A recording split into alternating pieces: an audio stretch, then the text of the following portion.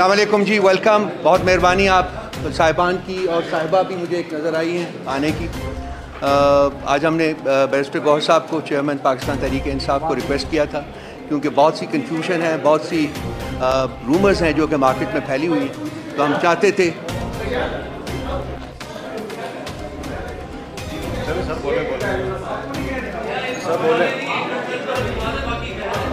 तो हम हम चाहते थे कि आपको कुछ हकायक से आगाह किया जाए। इसी, इसीलिए बैरिस्टर गौर साहब को आज हमने स्पेशली रिक्वेस्ट की थी कि आप लोग करें। That pass it on to him sir over to sir बिस्मिल्लाहिर्रहमानिर्रहीम। सबसे पहले आप सब लोगों का बहुत शुक्रिया। ये हम सब की कौमी ज़िम्मेदारी है कि बशहरी बहसीत एक पाकिस्तानी के, स्पेशली इलेक्शन के दौरान जब भी हम सोचते हैं तो मुल्क के बेस्ट इंटरेस्ट को मद्देनज़र रखते हुए, जो भी कदम उठाते हैं, हमें उठाने चाहिए और करने चाहिए। आज के दिन, हम कुछ ऐसे वाक़ात है और फैक्ट्स एंड फिगर्स है, जो हम समझते हैं कि आपके साथ हम उसको शेयर कर लें और उसके मुताबिक आपकी मेमोरी रिफ्रेश करवा लें। आपको मालूम है कि जब से रिजीम चेंज हुआ है एक कंस्पेरेसी हैश की गई थी, जिसमें एक कलेक्टेड हुकूमत ख़त्म हो गई थी। उसके बाद जिस तरीके से लंदन प्लान को एग्जीक्यूट किया गया है, और एक मोस्ट पॉपुलर पार्टी को आज उस मुकाम तक पहुँचाया गया है कि उस पार्टी के साथ अपना निशान नहीं है। और दूसरी तरफ़, वो लोग जो ला को मतलूब थे सर्टिफाइड मनी लॉन्डर थे वो कन्विक्टेड और एब्सकांडर थे। वो अदालतों को मतलूब थे और उन पे करप्शन और मनी लॉन्ड्रिंग के इंडाइट होने वाले थे। वो कुछ क्लियर भी हो गए और इकतदार में चले भी गए। आपके सामने ये हमें कि आलमोस्ट एक साल हो गया है। हमने दो इसम्बलियाँ डिज़ाल करवाई थी। आइनी और क़ानूनी तौर पर यही हमारा राइट था और इस इसम्बली को रिस्टोर करने के लिए कोई किसी अदालत नहीं गया था। एवर सिंस हम रिक्वेस्ट करते रहे कि free fair and transparent election हो इस मुल्क में, यही आइनी तकाजा है और यही का मुकद्दर है। उसके लिए हम तीन मरतबा सुप्रीम कोर्ट में पिटीशन फ़ाइल कर चुके थे और सात मरतबा हम हाई कोर्टों में जा चुके थे।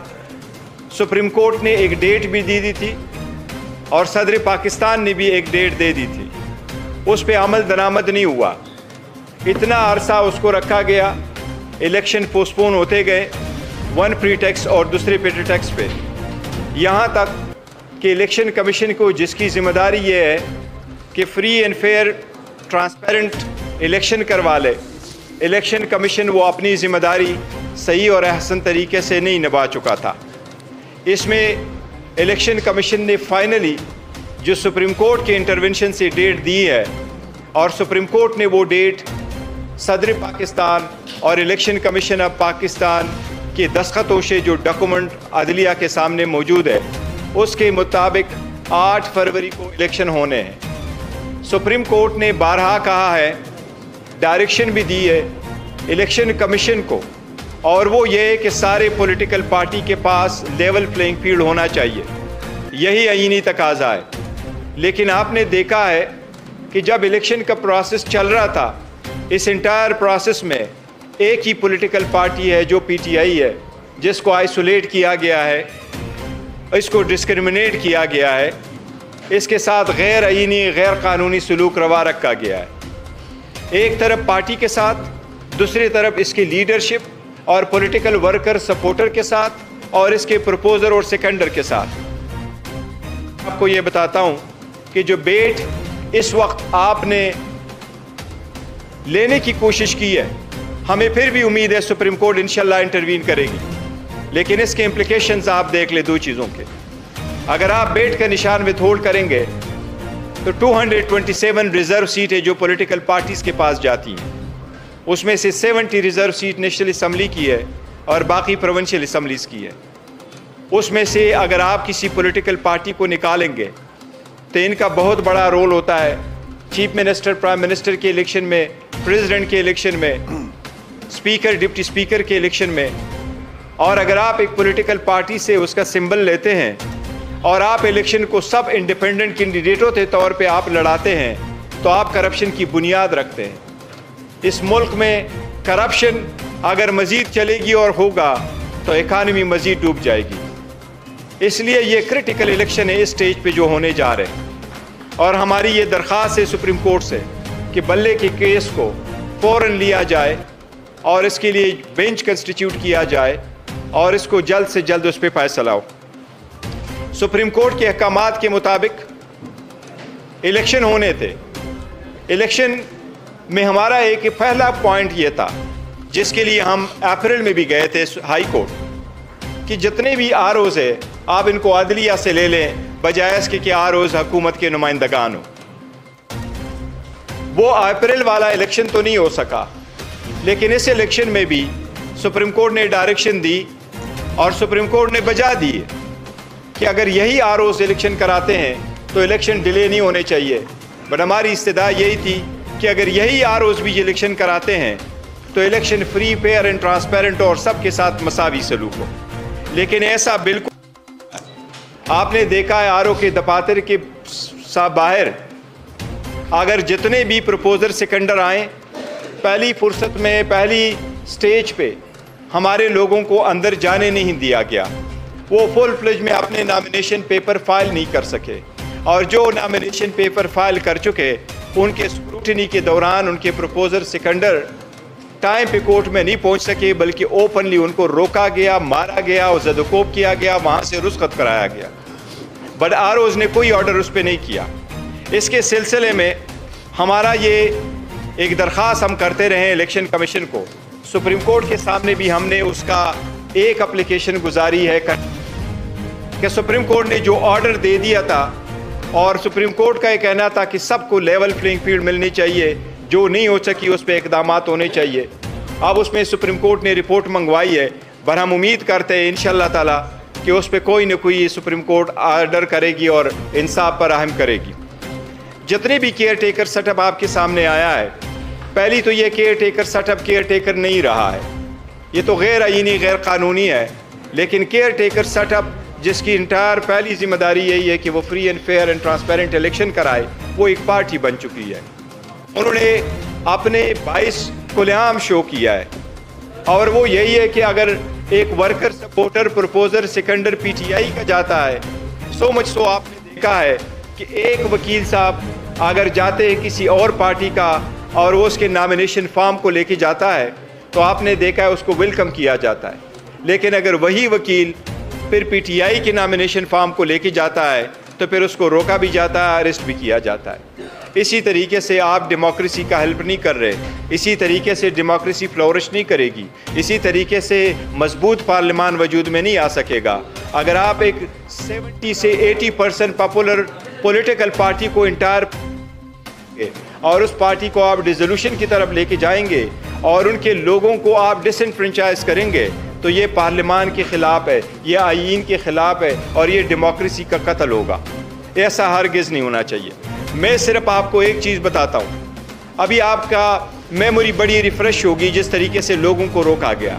लेकिन सिर्फ़ आपके सामने अगर आपकी इजाज़त हो तो बहुत सारे सैकड़ों वकूए हुए हैं। मुल्क के हर कोने में हुए लेकिन हम आपको कुछ वीडियो प्ले करवा रहे हैं। आप सिर्फ़ पहला वाला वीडियो देखें कि लोगों को कैसे रोका गया, उनको जाने से रोका गया, किसी तरीके से उनके कागजात छीने गए, और किस तरीके से हम समझते ये सिर्फ़ ऐसा नहीं है कि आप कहें, उनसे कागज़ लिए गए। ये जो प्रोसेस हो रहा है, ये इलीगलिटी है उस प्रोसेस की कि आपने उस इंटायर प्रोसेस को रोका है। ये आप सिर्फ़ ये वीडियो पहले देख लें।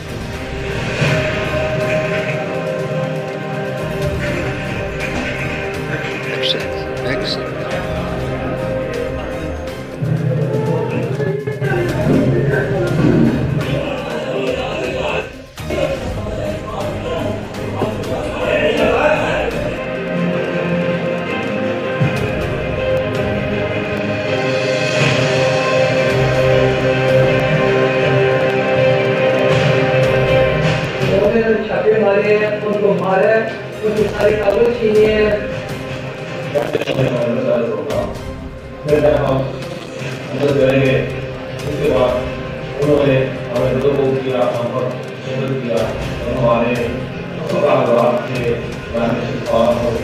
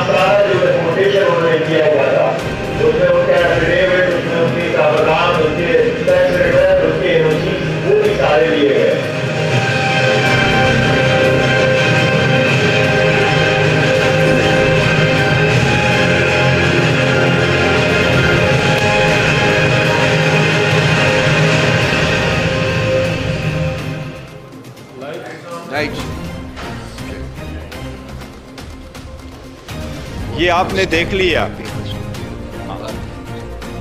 जो आपने ये देख लिया है, जिस तरीके से कोशिश की गई कि लोगों को नामिनेशन फॉर्म फ़ाइल करने से रोका जाए, इसके बावजूद अल्हम्दुलिल्लाह पीटीआई के वर्कर सपोर्टर्स और कैंडिडेट्स और एस्पायरेंट्स जो थे, उन्होंने सबसे ज़्यादा नामिनेशन पेपर फ़ाइल कर लिए। ये हमारे अंडर 19 क्रिकेट टीम से भी घबराए हुए हैं।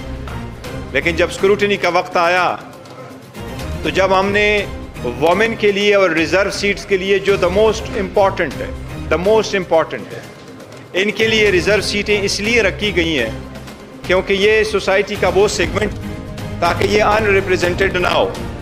पीटीआई के किसी भी कैंडिडेट की स्क्रूटनी जो रिज़र्व सीट है, वो आज तक नहीं हो गई है। अगर आप स्क्रूटनी का प्रोसेस कंप्लीट कर भी लेते तो क्या फ़र्क पड़ता? इलेक्शन तो अभी होने।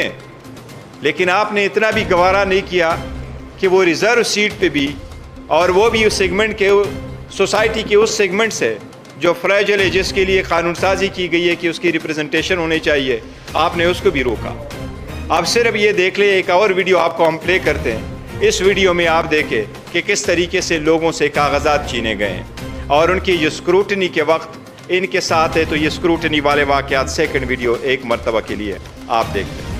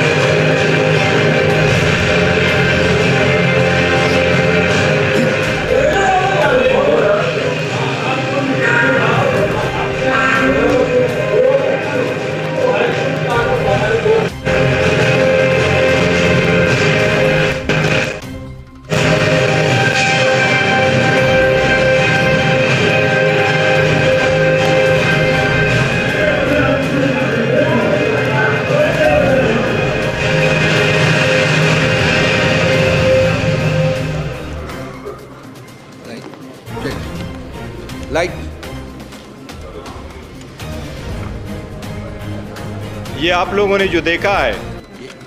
कोई एक छोटा सा सैंपल छोटा सा देखिए, ये आपने जो देखा है ये एक एक टिप ऑफ़ द आइसबर्ग है जो आपने देखा है।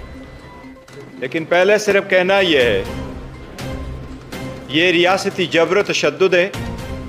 या आप हमें किसी जुर्म की सज़ा दे रहे हैं। किस जुर्म की सज़ा हमें दी जा रही है? वर्कर सपोर्टर को प्रपोजर सिकंडर को वोटर को किस जुर्म की सज़ा दी जा रही है? ये आप खुद देख लें।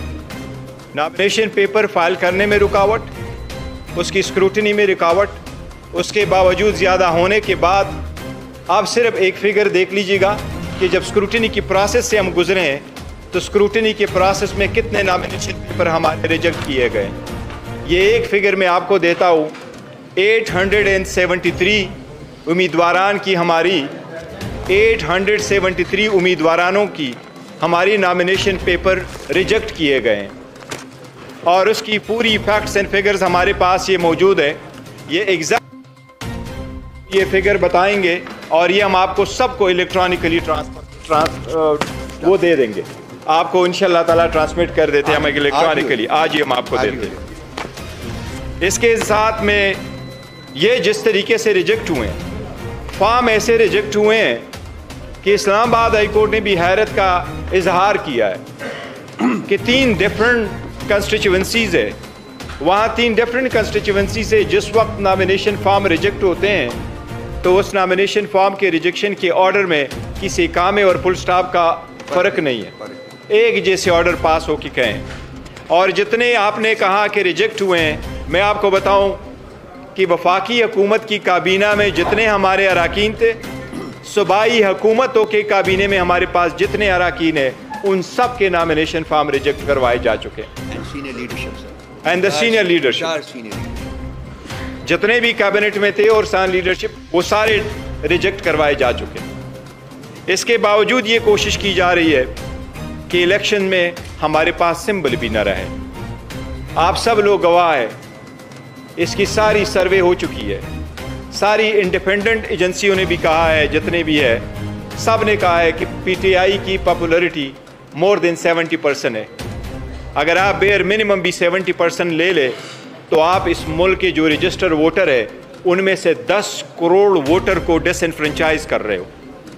ये 10 करोड़ पाकिस्तानी अवाम का 25 करोड़ जो आबादी में जितने रजिस्टर वोट है पीटीआई की 70 परसेंट पॉपुलरिटी मद्देनज़र रखते हुए आप 10 करोड़ वोटर को डिसनफ्रेंचाइज कर रहे हैं। अगर इतने तादाद में आप वोटरों से हक लेंगे तो क्या वो इलेक्शन अगर हो भी जाए तो पोस्ट इलेक्शन क्या वो लेजिटिमेट इलेक्शन होगा? क्या आपकी इलेक्शन दुनिया तस्लीम करेगी? ये हर किस तस्लीम नहीं कोई करेगा।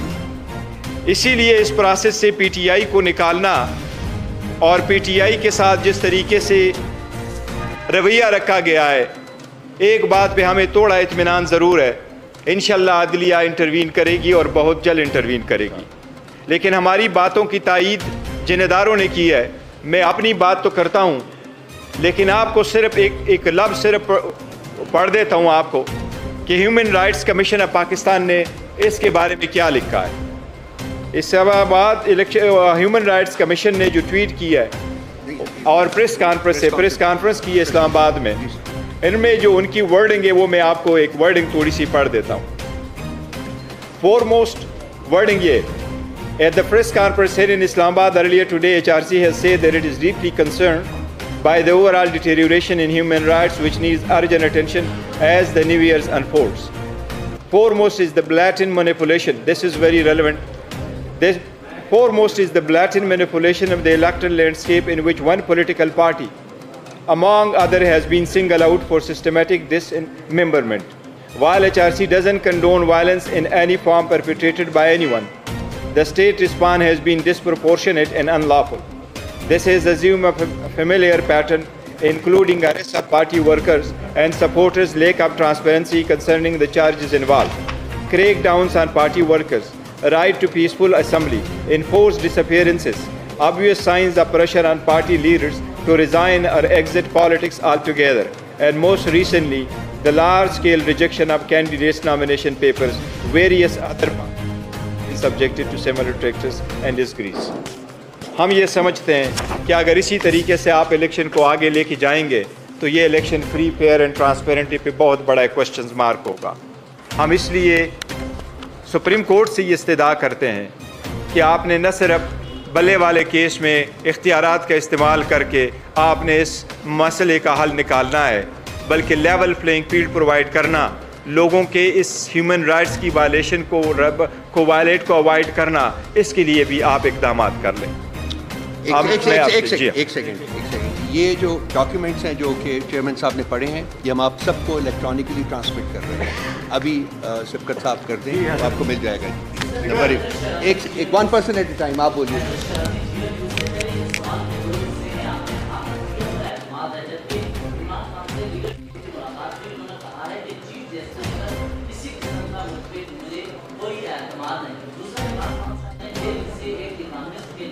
आर्टिकल लिखा मेरे हटाए जाने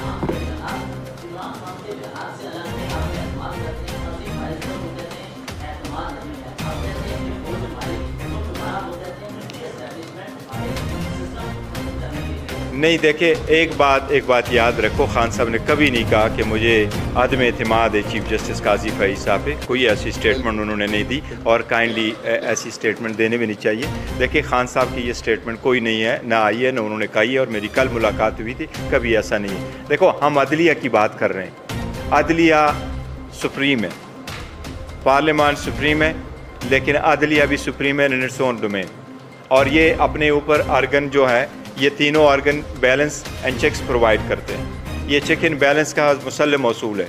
हम इसलिए अगर करते हैं तो क्या करें?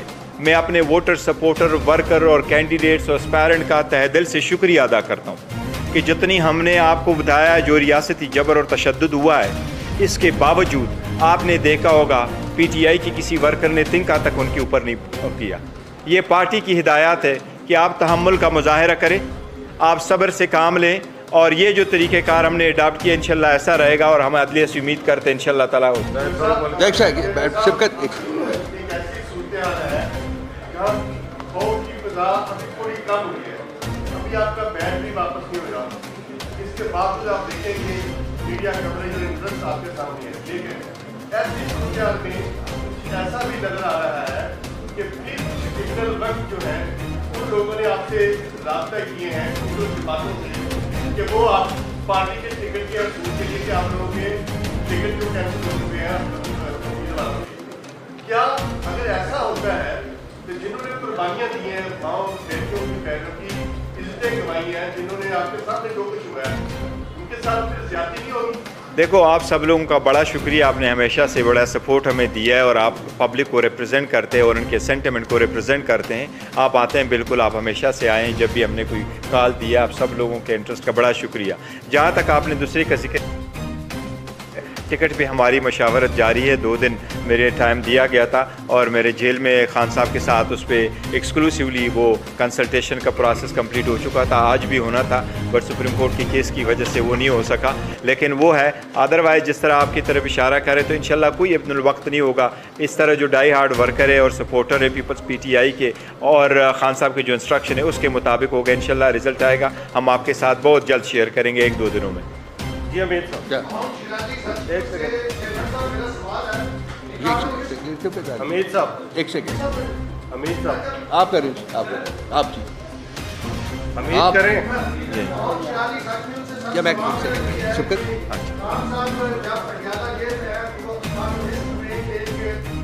उनका जो। है वो मज़बूत छपा है तो ये कौन सी सहूलतकारी हो रही है जो। लंदन से हो रही है और कौन लंदन में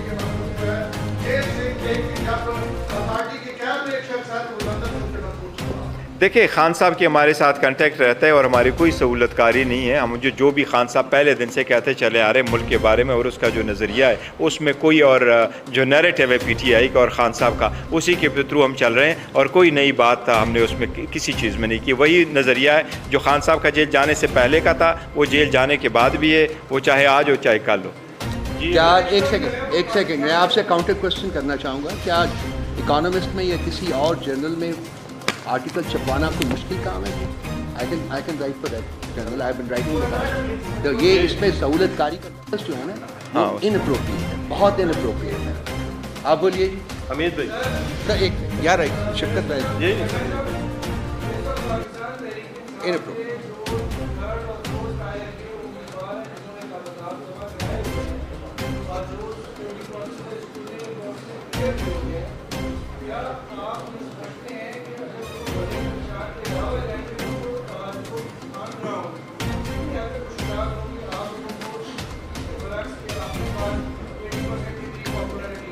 देखिए, हम अपना जो प्रोसेस है अवार्ड ऑफ़ टिकट का, वो हम कंटिन्यू रखेंगे। और जो कैंडिडेट लड़ेंगे, अगर उनको निशान लेट सपोज़ एज्यूम कर ले for God forbid that happens at the end of the day अगर उनको वाकई ही हमने पास निशान नहीं है और वो जिस भी निशान पे होंगे, उन सारे लोगों में पार्टी सपोर्टेड कैंडिडेट ज़रूर होंगे। हर कंस्टिट्यूंसी पे हमारा एक नामिनेटेड कैंडिडेट ज़रूर होगा। और वो जिस भी संबल से लड़ेंगे। लेकिन हम, मैंने जो आपको फैक्ट्स फिगर दिए कि वो ऑलमोस्ट हंड्रेड मिलियन बनता है। दस करोड़ मीन्स हंड्रेड मिलियन इतने वोटर सपोर्टर को आप एक प्रोसेस से निकाल रहे हैं। तो अगर आप उनको कहेंगे कि वो इंडिपेंडेंट इलेक्ट हो तो फिर वो आ जाएँगे, ये बड़ा नुकसान होगा। इसलिए हम चाहते हैं कि इंडिपेंडेंट ना हो और वो पार्टी सिंबल पे ही इलेक्शन लड़े, ताकि वो प्रोसेस का हिस्सा बने फ्लोर क्रॉसिंग में आ जाए और हम आगे की तरफ़ बढ़े और कोई फिर, कोई रिफॉर्म्स ले आए।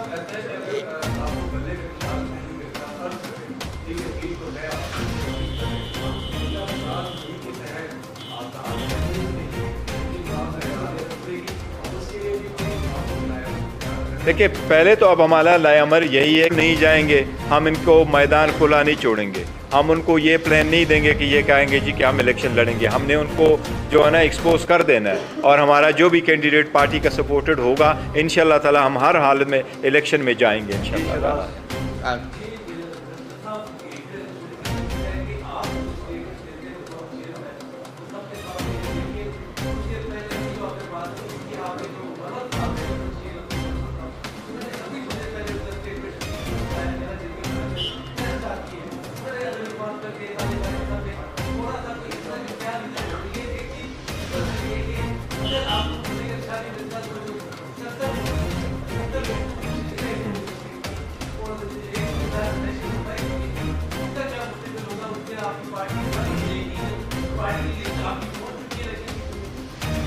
रिज़र्व सीट यस देखो पहली वाली जो बात आपने कर ली तो जो हम इस वक्त कह रहे हैं वही आप बात समझें। नहीं कभी ऐसा नहीं कहा है खान साहब ने हमारा अतमाद है। दूसरी बात यह कि जहाँ तक आप इस बात का ज़िक्र कर रहे हैं तो आ, जो लिस्ट है यस लिस्ट मेरे दस्खतों से इलेक्शन कमीशन के पास जमा कराई जा चुकी है। हमारे रिज़र्व सीट की वोमेन और नान मुस्लिम की। मैंने अपने दस्खतों से जाके इलेक्शन कमीशन में जमा कराई हैं। वो इलेक्शन कमीशन के मुताबिक सारू सूबों में अपने रिटर्निंग अफसरान के पास जमा कराना पड़ता है, जो उनका प्रोविंशियल कमिश्नर होता है। वो हमने सिंध भी लेके गए थे, बलूचिस्तान भी लेके गए थे और पंजाब में भी और के पी के में भी। तो हमारी लिस्ट है उनके पास जाइए। प्रॉब्लम सिर्फ़ ये है कि जो हमारे कैंडिडेट है इलेक्शन कमीशन ने उनको कहा, हम आपकी स्क्रूटनी नहीं करते। जो मैं पहले भी कह चुका हूँ कि पिशावर हाई कोर्ट ने जो हमें स्टे दे दिया तो उसको इम्प्लीमेंट नहीं किया इलेक्शन कमीशन ने तो ये हम लिस्ट उनके पास जा चुके हैं।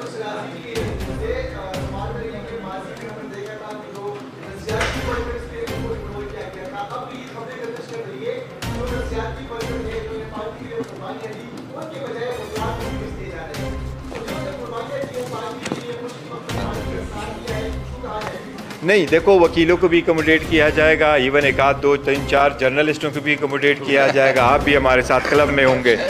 और सारे होंगे लेकिन ये नहीं है कि वो हम आ, वो निकालेंगे। सब सब के साथ है और वर्करों को ही मिल ये ये ये ये ये। सर सदर साहब भी बड़े खामोश है।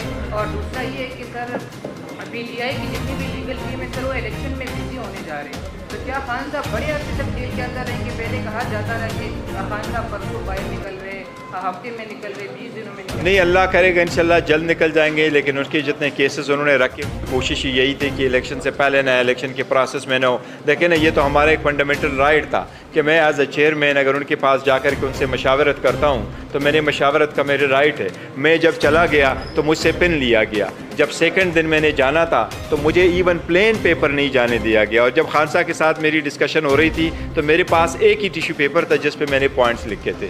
फिर हमने हाई कोर्ट में एप्लीकेशन मूव कर दी। हाई कोर्ट ने इजाज़त दे दी। तो हाई कोर्ट की इजाज़त के बाद मैं उनका मशहूर हूँ उन्होंने बहुत अच्छा मौका प्रोवाइड किया और हमारी डिस्कशन हो गई थी। ये एक सेकेंड एक से, एक सेकेंड एक सेकंड एक सेकेंड एक सेकंड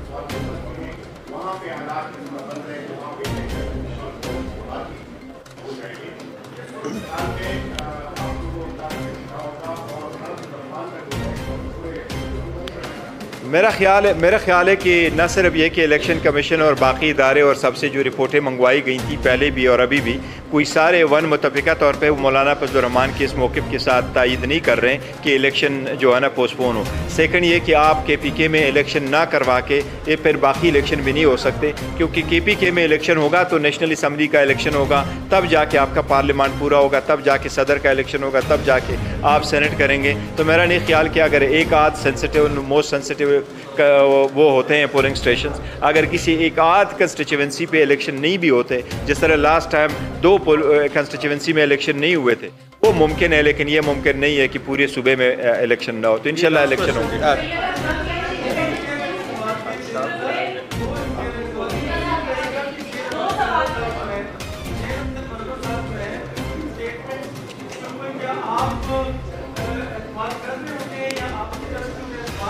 देखिए मैंने अभी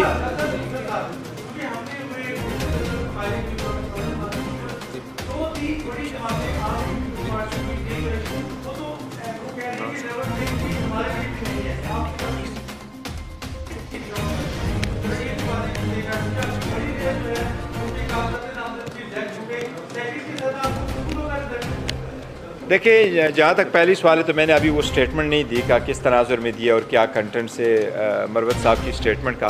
लेकिन जहाँ तक आपका सेकंड वाले क्वेश्चंस का ताल्लुक है तो देखो हर सूर हमने इलेक्शन पार्टिसिपेट करना है। जो भी वहाँ पार्टिसिपेट इन ताला हम इलेक्शन में करेंगे। एक वो एक पॉइंट ज़रूर है हम तो चाहते हैं अपने बल्ले के साथ जीते और हमारा टॉप कैडर का जीता है। लेकिन जो भी प्रोसेस होगा हम उससे गुजरेंगे लास्ट क्वेश्चन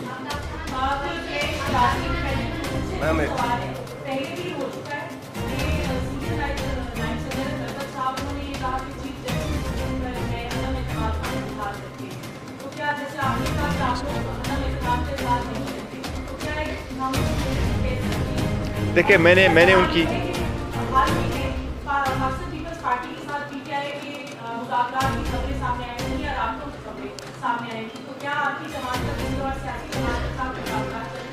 देखिए जहाँ तक पहली बात का किया तो मैंने सुना नहीं है। नो कॉन्फिडेंस पे हम ऑलरेडी स्टेटमेंट दे चुके हैं कि ऐसी बात नहीं है। जहाँ तक पीटीआई के दूसरी जमातों के साथ है तो अलायंस तो हम करने नहीं जा रहे हैं कि वो हम सीट टू सीट एडजस्टमेंट कर ले लेकिन पॉलिटिकल पार्टी की हैसियत से हम ये करते रहते हैं। तो अभी तक कोई ऐसा नहीं है कि सटल कोई चीज़ नहीं हुई है। हम पहले उम्मीद करते हैं कि इंशाल्लाह हमें बल्ला मिलेगा और उससे प्रोसीड करेंगे। Thank you thank you thank